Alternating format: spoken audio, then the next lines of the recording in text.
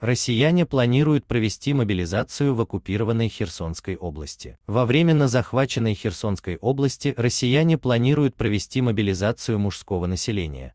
Оккупанты требуют сотрудничества от местных жителей. Об этом сообщает РБК Украина со ссылкой на оперативное командование Юг.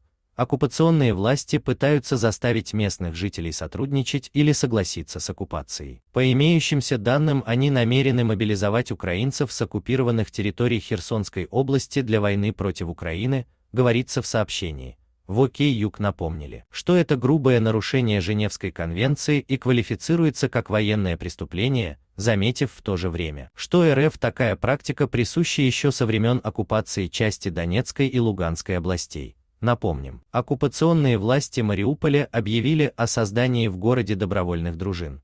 Мариупольцев хотят привлечь к патрулированию улиц вместе с российскими военными и боевиками из ДНР. Срочные и важные сообщения о войне России против Украины читайте на канале РБК Украина в Телеграм.